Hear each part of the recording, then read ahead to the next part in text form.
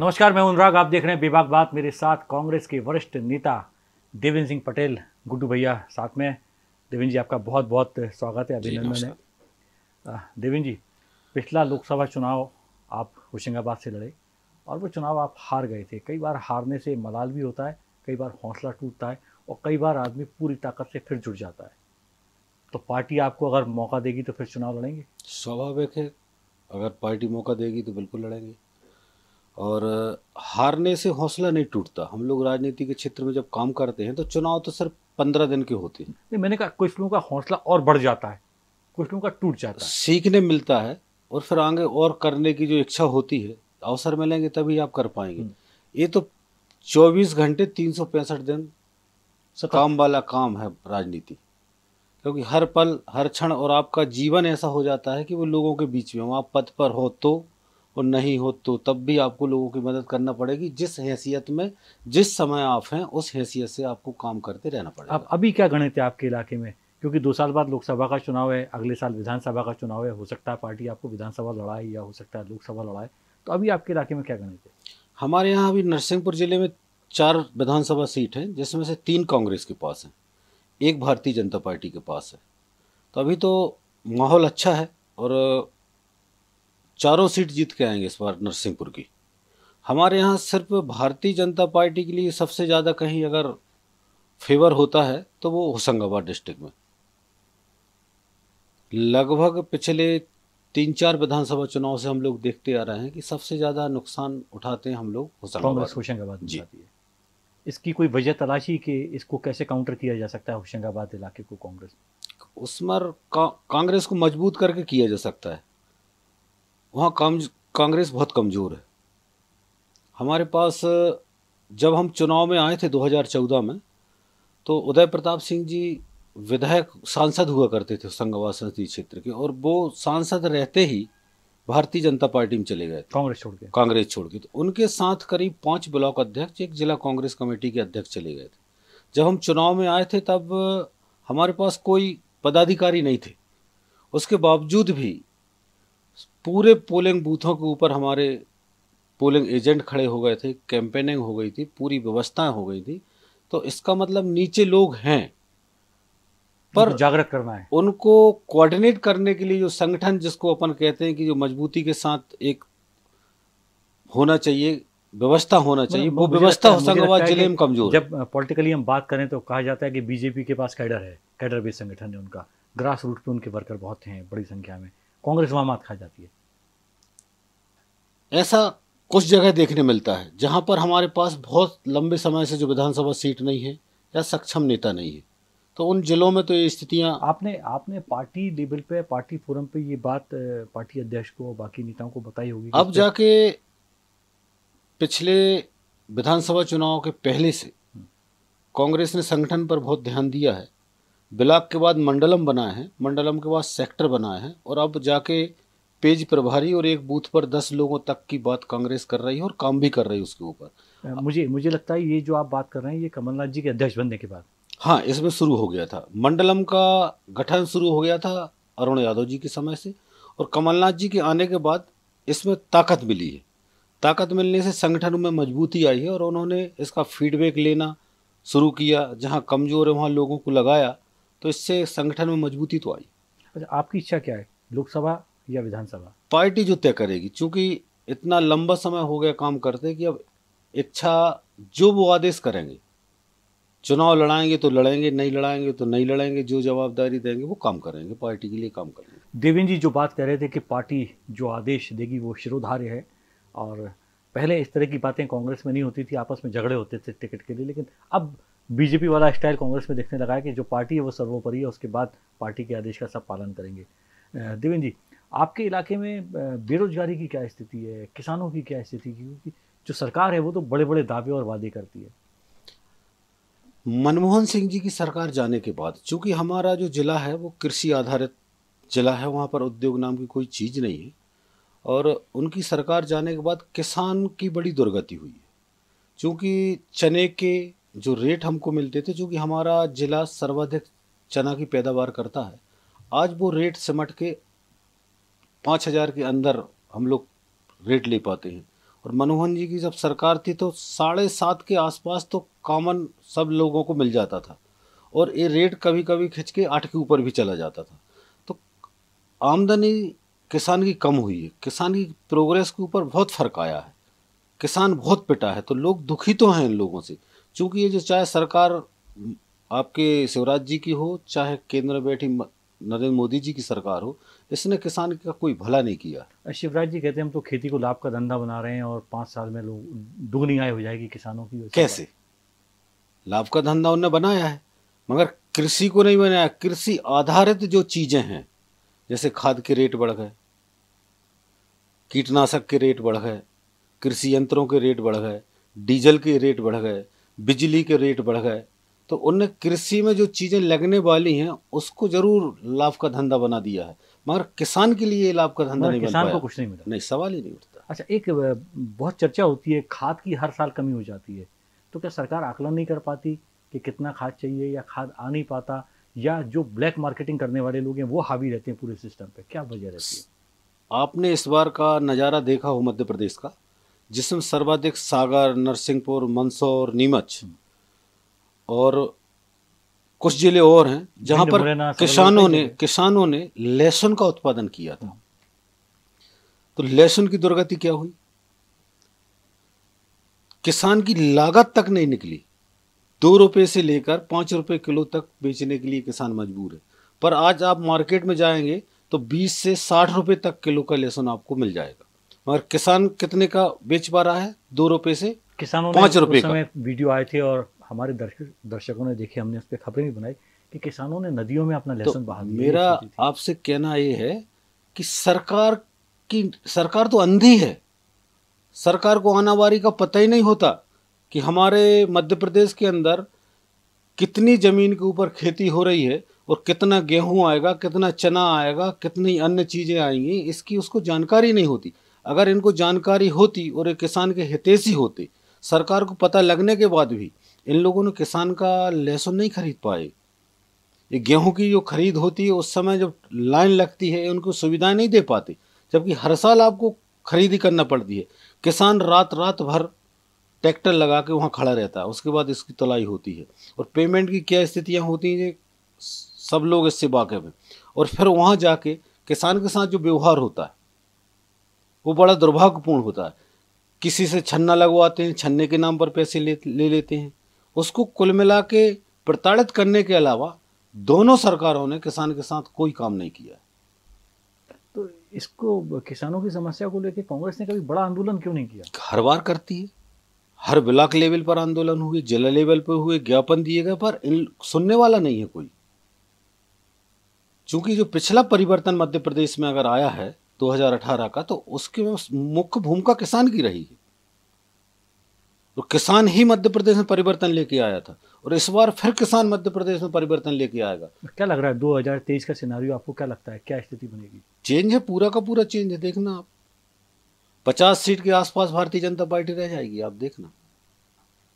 लोग दुखी हैं। किसान सर्वाधिक दुखी है।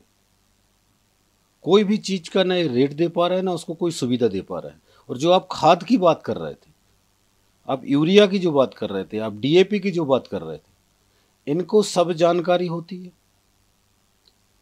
समय पर उपलब्ध नहीं करा करा पाते, पता नहीं इनका कौन सा शौक है। और ब्लैक मार्केटिंग मध्य प्रदेश के अंदर बहुत होती है, जिसके अंदर सत्ता में बैठे लोग, व्यापारी और प्रशासनिक अधिकारी सब इन्वॉल्व होते हैं। ये माना जाए कि शिवराज सिंह जी या नरेंद्र मोदी जी या पूरी सरकारें कहती हों कि खेती को लाभ का धंधा बना रहे हैं, किसानों के हित में काम कर रहे हैं, लेकिन हावी बिचौलिए हैं। बिचौलिया किसके सह पर हावी है? भाई, इनके ऊपर अधिकारी तो होते हैं। आप दुकानों की जाँच करते हैं, किसके पास स्टॉक कितना है? और कितने में वो मार्केटिंग कर रहा है? आप कभी किसान बन के गए व्यापारी के पास खरीदने के लिए? आपने उसको पकड़ा, क्योंकि आपके पास सीधे पैसे पहुँच रहे हैं। नीचे से ऊपर तक, भ्रष्टाचार व्याप्त हो सिस्टम के अंदर। हमारे यहाँ पर नरसिंहपुर ज़िले में सर्वाधिक गन्ना होता है। गन्ने का ऑफ़िस अगर आप देखेंगे, एग्रीकल्चर डिपार्टमेंट ने एक गन्ने के लिए, गन्ना किसानों के लिए एक ऑफ़िस बनाया उसमें एक, पता नहीं उनका कौन सी पद है, वो अधिकारी का, के कर्मचारी के एक बैठते हैं, जिनको कोई नॉलेज नहीं होता। जबकि व्यवस्था ये होनी चाहिए कि हर पंद्रह दिन में गन्ने को टेस्ट कराना चाहिए आपको। कि इसकी शुगर परसेंटेज क्या आ रही है? उसके हिसाब से इसके रेट निर्धारित होना चाहिए। पर कभी ऐसा नहीं होता। किसान को गन्ने के नाम पर कोई सहूलियत नहीं होती। मिल मालिक लूट लूटने पड़े हुए हैं लूटते रहते हैं और किसान की मजबूरी होती है। उस समय तो चूँकि फ़सल आई खड़ी है उसको काटना भी है खेत खाली भी हम्म। करना है दूसरी फ़सल भी समय के ऊपर लगाना है तो उसकी मजबूरी होती है कि वो इनके पैर पकड़े खड़ा रहता है प्रशासन कहीं नज़र नहीं आता। एक एक, एक आरोप इसमें और लगाया जाता है कि कमलनाथ जी की सरकार थी उन्होंने कर्ज माफ़ी का वादा किया था किसानों को कुछ की हुई कुछ की नहीं हुई तमाम सारे किसान डिफॉल्टर हो गए। किसान डिफॉल्टर हुए हैं और किसान बहुत कमज़ोर है ये बात सत्य है पर कमलनाथ जी ने प्रयास तो किया। आप क्यों नहीं कर देते? कोई आदमी अगर अच्छा काम करता है और उसकी योजना अच्छी है, और किसी बहुत बड़े तबके को अगर उसका लाभ मिलना है तो वो भी तो आपके लोग हैं, आपके राज्य के लोग हैं, आप कर दीजिए माफ़। आपके किसी ने हाथ पकड़ेगा कांग्रेस पार्टी के नेताओं ने आपको हाथ पकड़ के रखे कि आप किसानों का कर्जा माफ़ ना करो, आप किसानों का हित ना करो, आप किसानों की चिंता ना करें, आप किसानों की मदद ना करें, आप करिए ना। कौन मना कर रहा है? उनने प्रयास किया, और लगभग उनने जो भी कार्यक्रम बनाया था तो लोगों को मदद भी हुई और अगर पाँच साल उनकी सरकार रह जाती तो किसानों का कर्जा माफ़ होता। देवेंद्र सिंह जी कह रहे हैं कि अगर कमलनाथ जी की सरकार पाँच साल चलती तो यकीनन किसानों को लाभ होता। देवेंद्र जी से राजनीति किसान बेरोजगारी तमाम मसलों पर हम चर्चा के इस दौर को जारी रखेंगे। फ़िलहाल लेते हैं एक छोटा सा ब्रेक। अच्छा मस्ती और मुझसे। कौन कहता है पनीर सीधा साधा होता है? ये ना तो सीधा है ना सादा। चटपटा है। नया milk magic healthy cube bites spice infuse paneer. खाओ कभी भी कहीं भी। Milk magic healthy cube bites. Paneer पे अब मस्ती चढ़ गई। ब्रेक के बाद आपका स्वागत है। मेरे साथ कांग्रेस के वरिष्ठ नेता देवेंद्र सिंह पटेल जी हैं। देवेंद्र जी आप बड़े गुड्डू भैया नाम से आपको ज़्यादा लोग जानते हैं। इसकी क्या वजह रही? वो घर का नाम है। लोग प्रेम से स्नेह से गुड्डू बोलते हैं। तो और नाम आप, चल आप जब अठासी नवासी में जब यूथ कांग्रेस में आए थे तब से ये नाम आपके साथ? बचपन से ही है ये नाम। और अट्ठासी में मैं युवक कांग्रेस का ब्लॉक अध्यक्ष बन गया था। जिला युवक कांग्रेस का बना तो ज़िले के लोग प्यार से गुड्डू बोलते हैं मेरे लिए। तो आज भी उस नाम में इतना प्रेम जुड़ा हुआ होता है कि उम्र का एहसास नहीं होता है। हाँ हमारे यहाँ कुछ नाम ऐसे हैं, बबलू, गुड्डू, पप्पू, ये बड़े पारिवारिक से लगते हैं। और दूसरा जो हमारी कम उम्र के बच्चे होते हैं, उनके अंदर भी घुल मिल जाने में इनाम बहुत सहायक होते हैं। उनके मन का मर्म जानने के लिए, लोगों को पहचानने के लिए, और दूसरा, इसमें कोई स्टेटस सिंबल नहीं होता है। आप बहुत आराम से किसी के भी छोटे, बड़े के साथ उठ बैठ सकते हैं, क्योंकि इनाम की ताकत भी होती है। तो हमको बड़ा अच्छा लगता है कि लोग प्रेम करते हैं तो वो गुड्डू बोलते हैं। तो देवेंद्र भाई आपने कांग्रेस में जब राजनीति शुरू की तब इतनी मारा मारी राजनीति में नहीं हुआ करती थी। मौका मिलता था लोग आगे बढ़ते थे। आप पहले करेली में ब्लॉक में यूथ कांग्रेस के अध्यक्ष रहे फिर आप जिला अध्यक्ष बने। उसका यूथ कांग्रेस के प्रदेश उपाध्यक्ष भी आप रहे।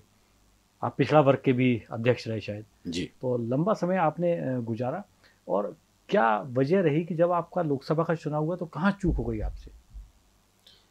उस समय नरेंद्र मोदी जी की लहर थी और परिवर्तन का दौर चल रहा था देश के अंदर, जो 2014 का जो चुनाव था, उसमें चूक नहीं हुई। अगर पार्टी हमको थोड़ा पहले खबर कर देती, क्योंकि हमारे पास सिर्फ़ 18-19 दिन मिले हमारे लिए, टिकट अनाउंस होने के बाद, और जितना बन पड़ा उतना किया, और पिछले चुनाव से हम बहुत अच्छी स्थिति में थे। उन्नीस से हमारा चौदह का चुनाव बहुत अच्छा था। उसी क्षेत्र ने उन्नीस के चुनाव में तीन विधायक रहते कांग्रेस के। सरकार रहते। मध्य प्रदेश में सर्वाधिक मतों से हारी है होशंगाबाद संसदीय क्षेत्र। एक नंबर पर आई। और जब हम लड़े थे तो वो छठवें या सातवें नंबर पर थी। तो इतना थोड़ा सा अगर अवसर पहले मिल जाता या ऐसा खबर होती कि अब लोकसभा लड़ना है तो नज़ारा अलग होता। अच्छा इस समय आप कल राहुल गांधी जी की यात्रा में शामिल हुए। जी। खूब भीड़ है नज़ारे आपने देखे ही होंगे वहाँ का। क्या लगता है ये जो भारत जोड़ो यात्रा है ये क्या कुछ पॉलिटिकल परिवर्तन ला पाएगी? स्वाभाविक लाएगी। क्योंकि वर्तमान में जो देश का हालात है उन हालातों को देखते हुए राहुल जी अगर आज निकले हैं तो इस यात्रा को हम 2024 से ना लें।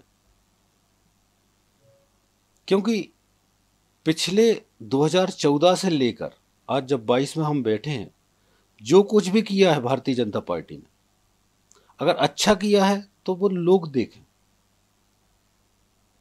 चूं देखना है कि भारत के अंदर जिस तरीके से बेरोजगारी बढ़ी है और जितने भी शासकीय प्रतिष्ठान होते थे, जिनके माध्यम से लोगों को रोज़गार दिया जाता था, आपके यहाँ की या अगर आप वेल ले लें, आपका रेलवे ले लें, आपका आधा एलआईसी भी इनने लगभग ख़त्म कर दिया। जो जितने भी बड़े बड़े संस्थान हैं, जिस तरीके से बेचे जा रहे हैं, जिनमें लाखों लोग टेलीकॉम ले लें, उसको बर्बाद कर दिया तो बेरोजगारी की जो दिशा और दशा जो देश के अंदर बिगड़ी है, इसका पूरा का पूरा श्रेय वर्तमान सरकार की नीतियों को जाता है।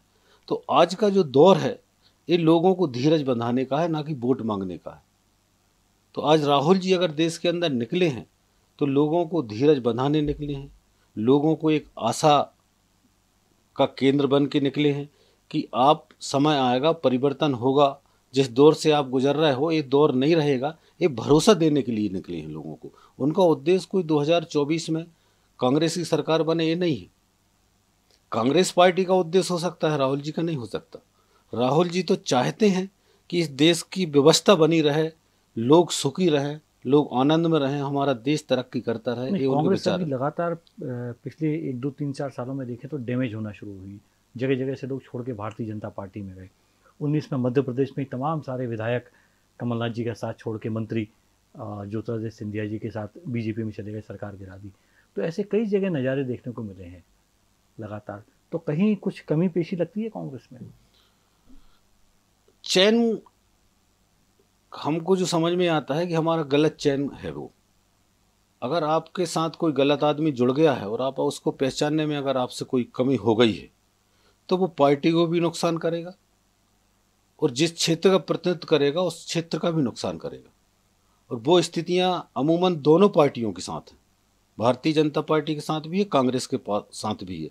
अगर आज राजनीतिक दलों को सबसे पहले इन लोगों पर विचार करना चाहिए, अब जब अगर हम इस चाह लें कि हमको जीतने ही वाला चाहिए। हमको सरकार बनानी ही है। तो उसमें हमसे चयन करने में गलतियाँ होती।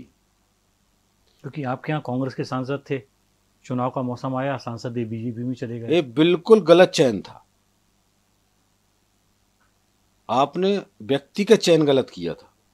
ऐसे ही भिंड में हुआ था कि कांग्रेस ने टिकट दिया वो बीजेपी में आ गए और चुनाव लड़े हो फिर बीजेपी से जीत गए।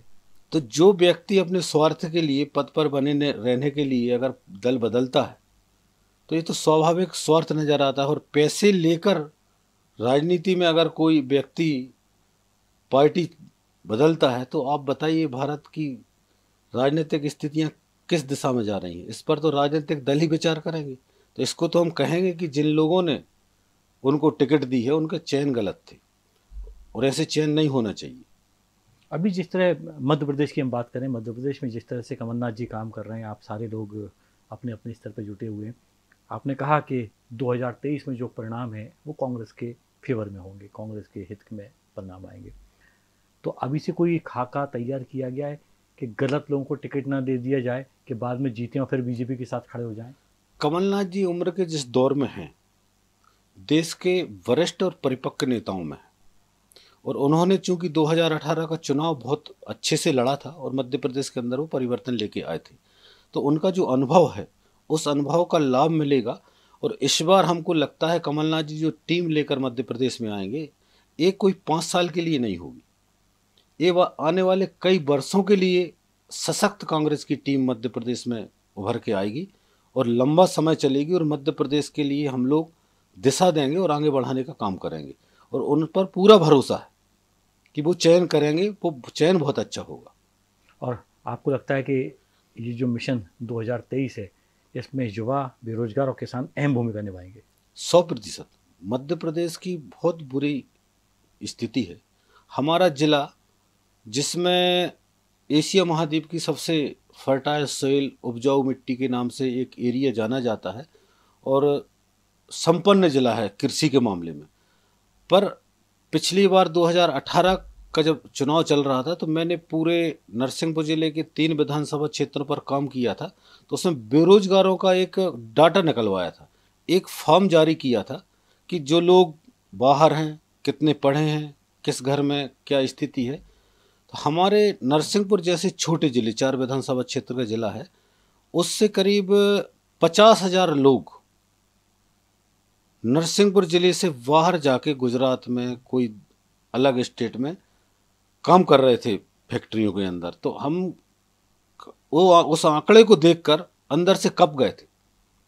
हमें कभी स्वप्न में भी नहीं सोच सकते थे, क्योंकि हम लोगों की जो पृष्ठभूमि है तो हम लोगों के यहाँ काम करने के लिए जो मजदूर आता है, वो सिवनी से आता है, वो छिंदवाड़ा से आता है, वो मंडला से आता है, जो खेती में हम लोगों को सहयोग करता है, चाहे कटनी हो आपकी, चाहे बोनी हो, चाहे आपका गन्ना की प्राई हो तो हम लोगों ने बचपन से वो देखा था। ये कभी सोच नहीं सकते थे मगर जब जी आंकड़ा सामने आया तो उस पर गौर किया। अगर नरसिंहपुर की जो स्थिति है तो अन्य तो जिलों की तो ईश्वर जाने। मतलब कृषि के मामले में इतना संपन्न जिला है उसके बाद हमारे बच्चे अगर पचास पचास हज़ार बच्चे बाहर हैं पलायन कर रहे हैं। पलायन कर गए वो आंकड़ा आया तो वो बड़ा दुखदायी था झकझोर देने वाला था। तो इससे लगता है और उसका परिणाम भी आया आप देखिए। कि नरसिंहपुर से आप चार में से तीन कांग्रेस जीत गई। और इस बार परिणाम आएगा कि चार की चार कांग्रेस पार्टी जीतेगी। आप सुन रहे थे कांग्रेस के वरिष्ठ नेता देवेंद्र सिंह पटेल जी को। देवेंद्र भैया का कहना है कि इस बार जो परिणाम है 2023 में वो कांग्रेस के फेवर में आएँगे और इसमें खास करके किसान 2018 की तरह अपनी मुख्य भूमिका निभाएँगे। देवेंद्र जी, आपने वक्त दिया, आपका बहुत बहुत आभार और आज बेबाक बात में इतना ही आप देखते रहिए दखल न्यूज़।